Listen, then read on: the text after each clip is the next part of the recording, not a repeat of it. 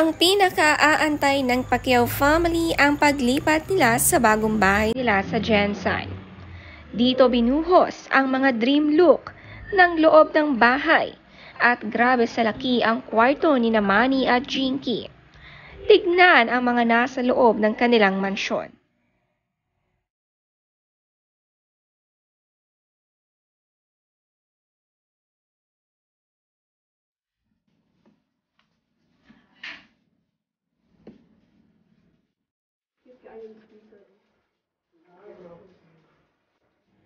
May shooting range nga sila sa loob ng bahay kung saan dito nga ang practice room nila.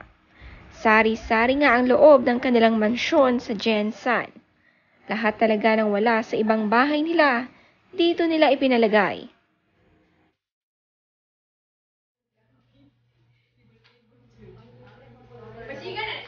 Grabe naman ang kwarto ni Manny at Jinky.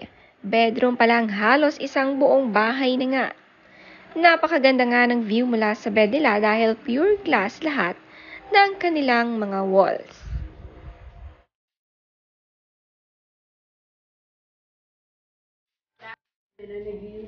Ooh. Tao ni Roy? Oo, tao ni Roy.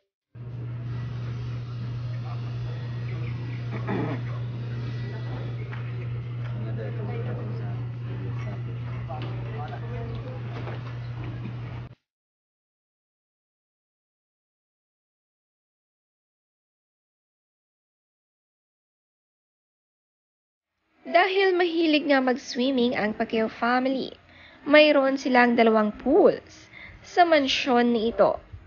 Isa sa garden na nakulong sa white fence, habang isa ay nasa itaas at may mini room pa ito sa gitna para sa kanilang tambayan at nasa ilalim nito ay pool din.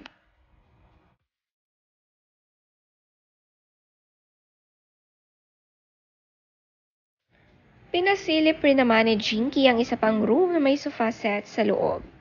Mahilig sa light colors si Jinky at napakaaliwalas ng kanilang bahay at laging malinis ito. Kung ano ang kinalaki ng kwarto, ganoon naman din ang hallway ng kanilang second floor na pwede pang maging tambayan at malagyan ng sofa set.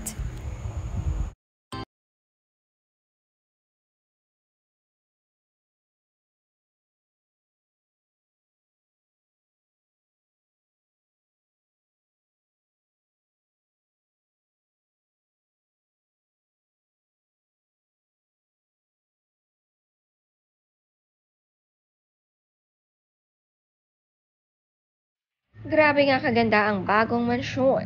Ito nga ang kanilang main home ngayon dahil gusto na nga nilang magstay dito sa Jensan. Napaka-sweet naman ang blessing sa mag-asawa ngayong taon. Kaabang-abang ang house blessing at parties sa bagong bahay nila.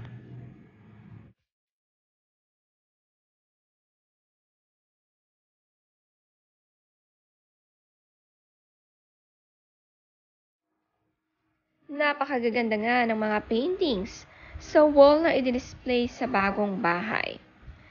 Mga malalaking paintings, mas malaki pa sa isang pinto ang mga kuha mismo ni Jinky.